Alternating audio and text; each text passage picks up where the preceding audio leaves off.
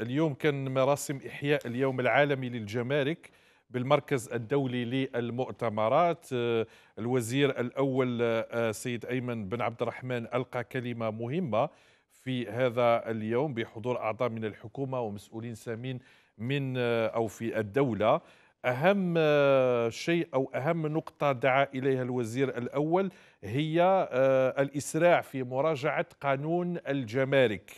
وباقي النصوص ذات الصلة من أجل التأسيس للتغيير الإيجابي الذي يرجوه المتعاملون الاقتصاديون. يعني الوزير الأول يعترف باللي كاين نظرة آه، من المتعامل الاقتصادي لهذا الجهاز الهام المسمى الجمارك. هذه النظرة يجب أن تكون نظرة إيجابية. كيف؟ بتغيير القوانين. فالوزير الأول قال بلي كاين عدة نصوص لا تستجيب حاليا للواقع المعاش وخاصة لمتطلبات المتعاملين الاقتصاديين في مجال إسراع الحركية الاقتصادية. وعندما تحدث عن التسهيلات الجمركية تطرق السيد بن عبد الرحمن للرواق الأخضر مطالبا بتعميمه ليشمل المدخلات والمواد الأولية.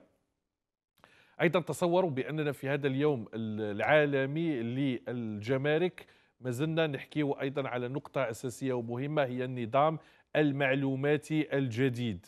يجب أن يكون هنالك رقمنة سريعة لأن المتطلبات الحالية آه، تفرض نمطا معينا من العمل على هذا الجهاز المهم جدا وهو جهاز الجمارك.